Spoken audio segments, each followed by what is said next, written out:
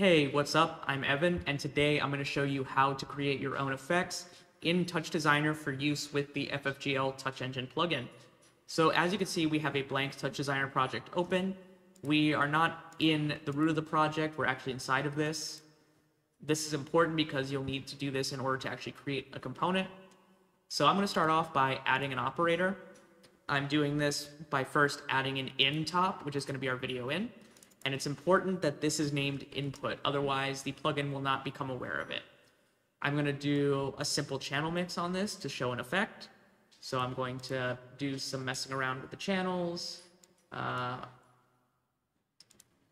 and what you want to make sure is that your resolution is inheriting from input because this is what's actually going to drive the total resolution all the way down the pipe. There is some scaling that does happen on the output if the resolutions don't match. However, this shouldn't need to occur if you have everything set up appropriately. So now I'm going to go ahead and wire to an out top, which is going to be the texture that comes out. And very importantly, this needs to be set to output, otherwise it will not be picked up. You do want to hit yes to all when you rename it, so that way everything gets updated. The next thing I'm going to do is I'm going to expose a parameter. But before we do that, I want to add something we can actually control. So I'm going to do a mix operator, or actually a cross operator, to just crossfade between the original video and the channel mixed video. I'm going to wire this to my output, and I'm now going to go up a level. In here, I'm going to right click on the project. I'm going to customize the component. I'm going to go ahead and add a parameter called opacity. That's going to be a type float. The plugin supports floats, ints, strings, menus, bools, and switches. Those will all appear. However, for this case, I'm just doing a single parameter. Parameter pages does not currently work. It only works on the first page. However, that's something that will hopefully be fixed in a later update. I'm also able to set the range min and max here and the default. So if I want my default value to be 50%, I can do this and it'll be loaded in. Once this is done, I can go into my custom page, I can right click on the parameter and copy it, close this out, go back in here into my cross, and I can paste reference to the parameter. And if we open this up, you can see I'm now referencing the parameter.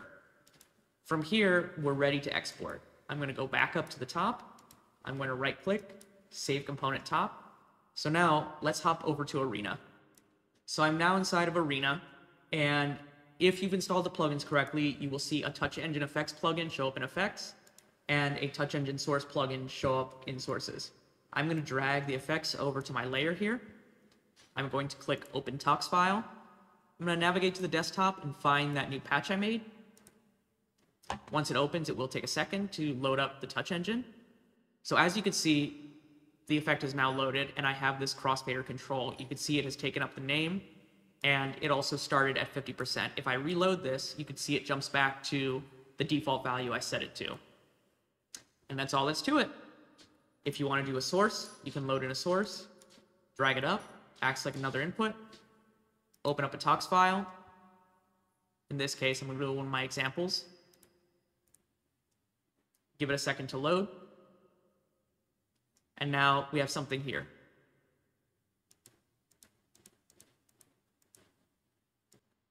There we go. You can see my effect is also applying to it. So you can have multiple instances running at once. Thank you. I, I hope you've enjoyed your tutorial, and I hope you have great use of the plugin.